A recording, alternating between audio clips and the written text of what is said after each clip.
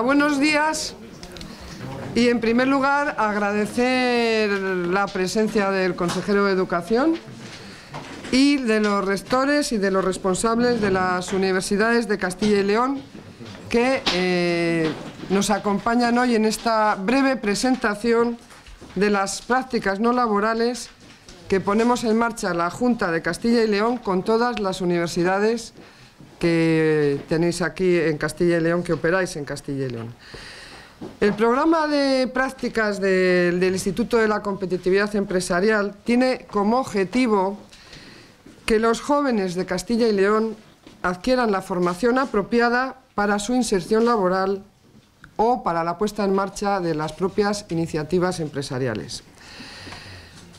Está enmarcado dentro de las estrategias que hemos aprobado la Junta de Castilla y León, tanto la RIS 3 como la Estrategia de Emprendimiento, Innovación y Autónomos.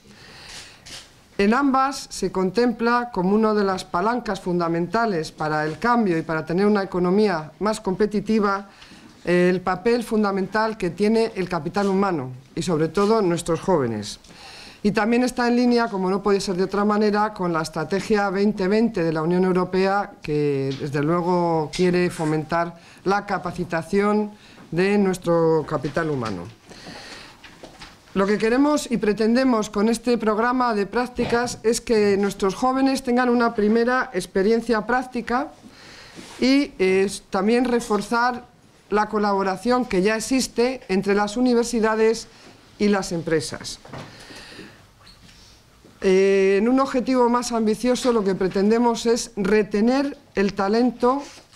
de nuestros jóvenes en Castilla y León. Y eh, en ámbitos claves como son eh, la I más D I y la internacionalización de nuestra economía.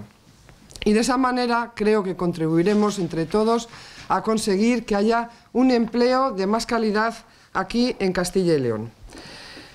Por eso es muy importante ejecutar este programa de manera coordinada con todas las universidades. Para ello mm, se ha aprobado un apoyo financiero de 3 millones de euros para 600 eh, personas, 600 jóvenes, que van a tener una duración eh, de las prácticas de seis meses y estas prácticas van a poderse realizar en empresas fundamentalmente, pero también en las agrupaciones empresariales innovadoras o clúster o en los centros tecnológicos, siempre que todos tengan un centro de trabajo en Castilla y León. Está dirigido a los titulados universitarios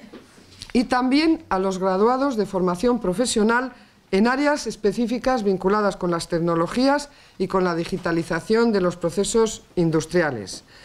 Además, dentro de este programa genérico hay dos subprogramas muy, interesantes en ámbitos que para la Junta de Castilla y León son prioritarios en estos momentos, que es el de la ciberseguridad y el de la industria 4.0. Y por lo tanto va a haber una formación específica en dichas áreas.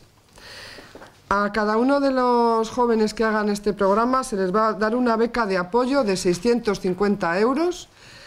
o de 750 en el caso de tratarse de Soria, porque saben que hemos aprobado un plan de dinamización demográfica y económica de la provincia de Soria y por lo tanto hay una, especie de discriminación positiva para los estudiantes de Soria. Y también vamos a correr con todos los costes sociales, eh, los costes salariales, además del pago de esta beca, los costes salariales y con la formación en ciberseguridad y en industria 4.0. Yo, mm, para terminar, quiero resaltar la importancia que tiene la colaboración entre las universidades, la Junta de Castilla y León y, por supuesto, los agentes económicos y sociales que operan en Castilla y León, las empresas, los centros tecnológicos, los centros también de conocimiento práctico en, nuestra comunidad.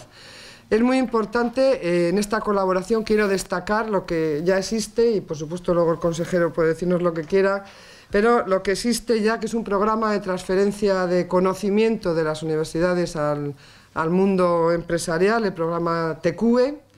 y también quiero poner en valor hoy otro programa que eh, recientemente también se apoyó desde la Junta de Castilla y León, que es el programa de apoyo al emprendimiento tecnológico innovador, que eh, para esos proyectos que salen de las universidades, eh, esa transferencia a través del TQE, pues después se hace este programa de emprendimiento innovador donde se analiza la viabilidad de las distintas ideas y de esos prototipos que se presentan por los estudiantes, ya terminados muchos casos, y también es un programa de eh, lanzadera, es decir, primero se lanzan y después se, aceleran para consolidarlos en el mercado. Bien, en este programa de, emprendimiento innovador eh, quiero decir que alguien que se anime a hacer este programa, que animo aquí a los jóvenes que lo hagan, pues tienen eh, muchos apoyos. Y, esto creo que es bueno que lo conozcan también los rectores de las universidades. Que en primer lugar a estas personas que innovan, estos emprendedores innovadores, se les da suelo en muy buenas condiciones, o suelo, un, espacio donde puedan poner su, idea su, y su incipiente empresa Suelo que, como saben, no se paga el primer año, con descuentos en el segundo, en el tercero. Además de eso, hay un, apoyo financiero específico con un fondo de capital riesgo de un millón de euros para estos proyectos que normalmente son pequeños, hasta 60.000 euros por proyecto, se puede financiar. Hay un producto nuevo en Iberaval para quien quiera tener un préstamo, además de ese, eh, ese apoyo en el capital, un préstamo que está totalmente garantizado y que los bancos se van a animar porque tiene garantía, eh, garantía específica, además de las ayudas a fondo perdido. Lo que quiero decir con este, este programa es tan beneficioso para esos emprendedores jóvenes que quieran hacer su empresa que vamos a decir que casi les sale, les sale gratis. Lo que tienen que tener es la idea de negocio y, la, y atreverse a lanzar esa, esa idea y hacerla, hacerla al final empresa. Y por último señalar que existen otros programas que también quiero hacer mención, como el apoyo al capital de apoyo al capital humano, como el máster de internacionalización o el programa de formación de gestores de que se llevan desde la Junta de Castilla y León. Y por último, estamos trabajando en un... Esto es una parte del programa de atracción, retorno de talento y retención de talento. Estamos trabajando en que haya otras medidas en este sentido. Y también contaremos, por supuesto, con las universidades en estos programas, en este programa. Esto es parte de ese programa. Y creemos que también estamos trabajando con los clúster, que son las, asociaciones públicas innovadoras, para que nos digan dentro, elaborar bien ese programa y que veamos cuáles son los perfiles que demandan las, las empresas de la comunidad y, cómo, y si también tenemos esos perfiles que salen de la universidad y cómo se pueden acoplar la oferta y la demanda de eh, jóvenes en nuestra comunidad. Y todo ello, yo creo, con un ánimo para todos, ¿no? Lo que queremos es que tengamos